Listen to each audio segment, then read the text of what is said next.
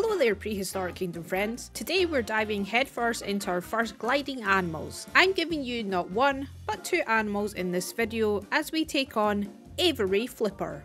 I know what you're thinking. What is Aviary Flipper? Here at Gemma Kingdom, It's not the name of the park! my ideas keep evolving, much like the dinosaurs themselves. So I want to take you on a journey of creativity to show you how you don't need to stick to one design and let your ideas soar, much like the Microraptors in this habitat. Now as you know, I'll be building in stages. We're going to improvise, innovate and embrace the chaotic beauty of creativity. Now, before we get into Aviary Flipper, I'd just like to point out that I have changed this with my name being Mrs. TeaRex. I felt it was more appropriate. Now, you will see that the special thanks has not been filled in just yet, but thank you to everyone who commented on the last video. Again, if you comment on this video, your name will be added to this board, and I'll showcase all the names at the end of this video. So again, a massive thank you to everyone who has contributed to the park. Okay, so here is our two aviary boxes and they are very basic. So this one here is just your standard and then this one has got some Microraptors in it. So just as a little bit of an insight, if you go up to edit group here, you will see that you can pick between having the cage on or off and then if you come up here to habitat and then click on environment at the bottom you'll see that you can actually change it between the different foliage so there you go you've got tropical temperate and scrubland. If we go back into here, you can also add in a little aviary house. So our Microraptors will go in there. You can also add in the feeding tower at the bottom. So that's what we want to do with this one over here. Now, the next thing we want to do is obviously make this looking a lot better. Okay, so you'll see that I have put the cage back in. This is all custom and I've also concreted this in here. So it does make it look a little bit more realistic. I know it kind of does look a little bit harsh with so much metal and much mesh, but realistically, that's exactly what normal aviaries look like. The habitat itself, as you have seen before, that you do get your standard foliage. And what I've done is just try to blend that in more. We do have the concrete base as well, just to try and to keep that a little bit for the droppings and, and things like that. I don't necessarily know if that would be a thing because obviously it's concrete. I would imagine like kind of around here there's a, a, a little bit of soil and with the rocks but the majority of it they've tried to keep it nice and clean and then what I've done try to make it again just a little bit more of a feature so we've got a little waterfall here that comes down and obviously we can't put in water into the game at the moment. So this is just a glass piece that tries to like reflect it that, you know, possibly could be water inside there.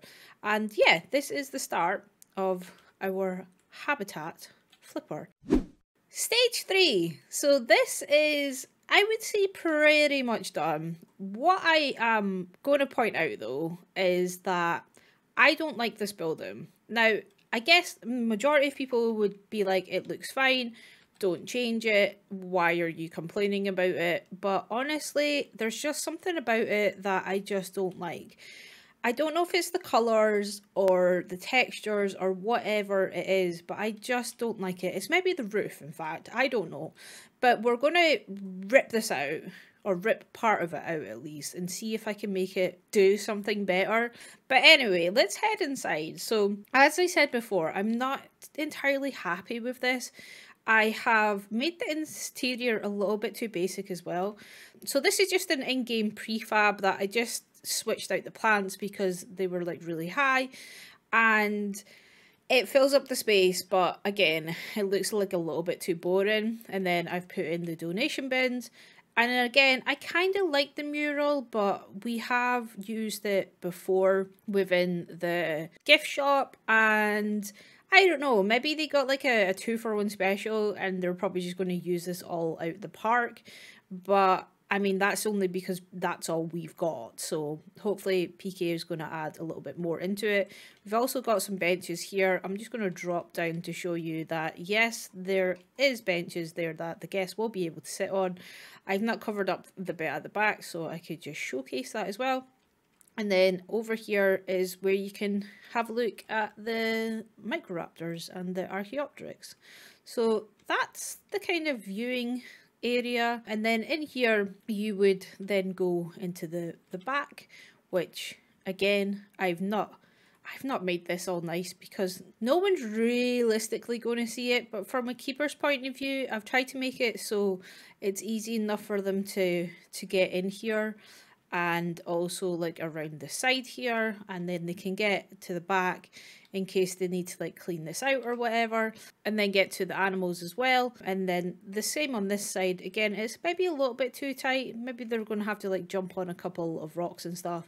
But realistically and maybe like maybe crouch behind there but realistically they should be able to get to the feeder at least back here to clean the windows and stuff. So I made sure that this part was all like relatively clear for them to, you know, do those do those things. Again, we would have to go like that, jump over here and then come back over out again. So that is how the keepers would come in and out. It's sad that I've thought about those things, but if we just head back in through this door here, your guest point of view. And I think it looks okay. The only thing, like I said, is I don't like the interior here and I don't particularly like this, this building and I would probably want to put a roof over this bit to make it look a little bit better. But in all honesty, I feel like we should just try and do something with this. Okay, so we have changed it. It might be a bit of a subtle change, but it has been changed. So as I said, I wanted to keep it a bit of a flat roof. I also tried to increase the colours in this, this build as well. So we've got this like grey at the bottom and then this white at the top, which kind of incorporates it into the main building at the top here. So as you can see, it's kind of the same. I know the wooden texture is a lot different. I did think about switching that over, but then I thought, you know what, I kind of like the, the wood, especially because all this was in place. So I've just kept that as well. But what I have done is you have seen like the change of the direction of the wood, which just makes it look a little bit different. So we have a sign here, which is the Aviary Lookout. Again, we've put in a little bit of more design around the door. And then inside here, I done this on Twitch. So again, if you want to follow me on Twitch, then I'll put a link in the description. But let's put a light on to start off with. This is an implied habitat and I really loved making this and I have to give a massive shout out to Kicker White Lion who told me all about this piece at the back here. So I did not know that you can change the tile to this really awesome looking foliage board and I think that is like a massive game changer. For the amount of time that I've spent in Prehistoric Kingdom, I honestly have not seen that piece. And I've just probably just not looked. Uh, but yeah, here we go. This is our implied habitat. So over here, lots of foliage. I think it looks really nice. And then over here, this is supposed to be like just a connecting one. So you can get like around to the side here um, as well and uh, it, it would all just be like a really nice big open area so I've done like an implied water bowl there and um, we also do have a a heat lamp as well and then we've just included some signs so you know don't tap on the glass because you'll scare the animals the amount of kids that I have seen that has gone to a zoo they just like think it's acceptable to scare the animals and their parents do absolutely nothing about it. So if you are a parent and your kid is running wild, please be considerate to the animals because it's just not very nice. So that's my little bit of respectable parenting advice for those out there. And then up here, we just went for this really kind of like basic office tile structure. So we've got some lights in here and I continued that over onto this side as well. Got rid of that part that was again similar in the gift shop and I've just used something which, you know, it's not fantastic, but it's it will do. It, it will do for the, the kind of purpose of, of everything. So I've moved this over here so there's a little bit more space. Everything else is relatively the same within the habitat itself. But yeah, just uh, change the colours as well. These used to be green and now they're grey.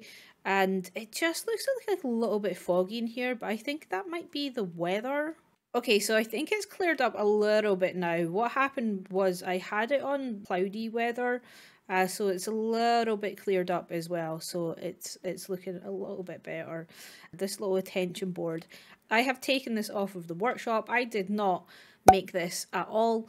I will put a link in the description to the person who created it and a link to their workshop so you can download it as well. The only thing I did do was I changed the colours of it so it is more in line with the branding of this park and that is all I did. So yeah, that is basically our updated version of the Aviary Lookout. It is pretty simple, it's quite basic.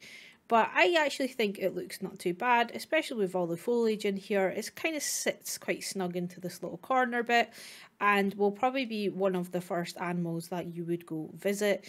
Not a big ticket animal for the dinosaurs, but something that I think a lot of people would be interested in checking out. And finally, before I go, a very, very special thanks to all of these beautiful people who were kind enough to comment on my last video. I very much appreciate it. Again, if you do comment on this video, your name will be added to this board. But before I do go, I have a question for you guys. Would you like to see a habitat which comes into here or a habitat which comes into here? So in the comments below, you will have until Sunday to type left or right and that will determine on the left hand side if we're building here or on the right hand side if we're building here. Both of these habitats are complete, so it's up to you guys which one you want to see. And again, if you are not on our board, then your name will be added as well. Remember and smash that like button, and I'll see you in the next video.